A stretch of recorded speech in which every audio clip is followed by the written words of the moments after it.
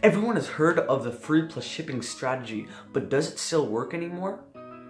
Today I'm going to be answering um, a very interesting question asked by someone, um, and that was, does free plus shipping work anymore? Everyone's heard of the free plus shipping strategy, and you know, all the Shopify gurus, everyone is saying, you know, do free plus shipping. You know, it's a great strategy, and you're going to generate sales from it because people think it's free, and then uh, they'll enter it and they'll just put their credit card in, right? But it's really not that easy because free plus shipping is used by so many people, people are not falling for that anymore. They know that they're gonna be hit with, you know, a $10 shipping price, right? It's like, it used to work, but it's become much more difficult. And don't get me wrong, it can still work, but I'm telling you, it's much more difficult to get a lot of sales with free plus shipping now than it was before because now everyone and their mom is doing free plus shipping, right? Like it's such a popular strategy that it's very difficult to really sort of change, right? Like five months ago, you could use it, but you really have to find some new strategy that works for you.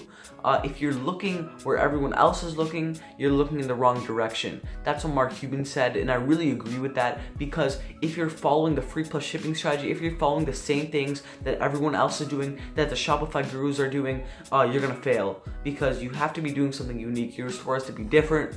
If you're doing the same thing everyone else is doing, uh, you won't be, you won't succeed, right? I mean, you have to try to find something that uh, something unique, right? So the free plus shipping strategy can still work, but it's much more difficult to gain leverage. Uh, let me give you let me give you an example. The the watch scam, right? It's a very very infamous uh, infamous little thing people do on that they, they put a watch and they say uh, you know free and then uh, they're hit with ten dollar shipping price shipping price or nine ninety five or nine ninety nine shipping price, right?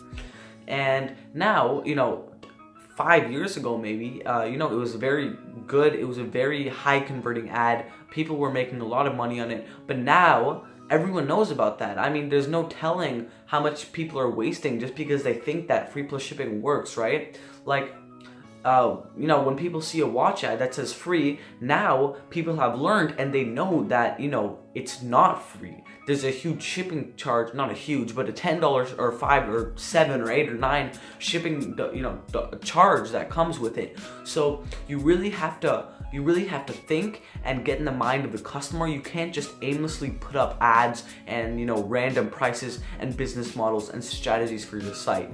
I encourage you to think about what you're doing and think about all the strategies that you're implementing with your store. So I hope that this video was helpful. Um, basically, in recap, the free plus shipping strategy still, it can work, but it's much more difficult than it was before. And new strategies, you know, there's gonna be a new strat, a new super popular Shopify store strategy that comes, I think, in the next few months, and then it'll, it won't work anymore, and then it'll come, and then it won't work. So you really have to sort of adjust um, and adapt to how the landscape changes. Alright, so thank you for watching. Please subscribe to this channel. Thank you.